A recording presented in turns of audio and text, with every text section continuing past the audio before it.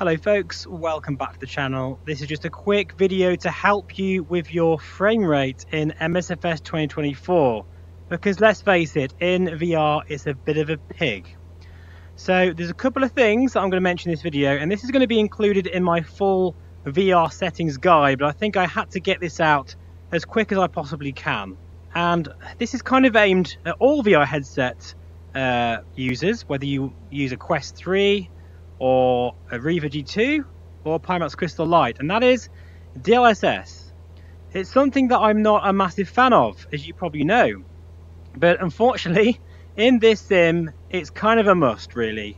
So there's a couple of ways you can do this. First of all, I'd recommend running DLSS set to quality and make sure you're running the latest DLSS file. And for that, you need to download the DLSS swapper see here on the screen.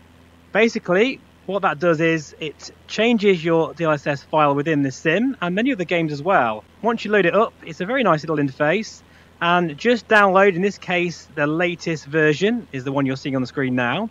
And then go to MSFS 2024 and then you can see there you can swap to the latest file. It's as easy as that. Now the reason why you've got to do that is because it does make a difference to the clarity and that's coming from someone who is not a DLSS fan. Um, but I must admit, looking at these gauges here, especially this G3000, it is softer than TAA, but I must admit, it's actually okay. I don't mind this. So you could also use some FSR sharpening. I run 180% in the menu, but you could also use the OpenXR toolkit as well. So have a play around with that. Now I know some of you out there prefer DLAA, and yes, it's definitely sharper, but it certainly in my test is pretty much the same performance as TAA mode.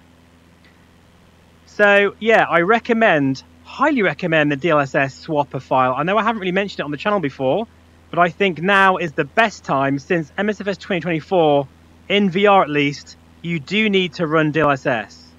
There are other ways of doing it as well, and I'll mention this in my full VR settings guide, so make sure you tune in for that. Currently, I'm testing three different PC systems in order to give you my best possible VR settings.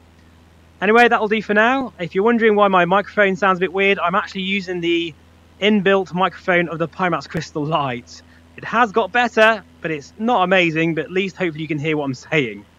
Right, that will do for this video. Thank you for watching. Take care and bye for now.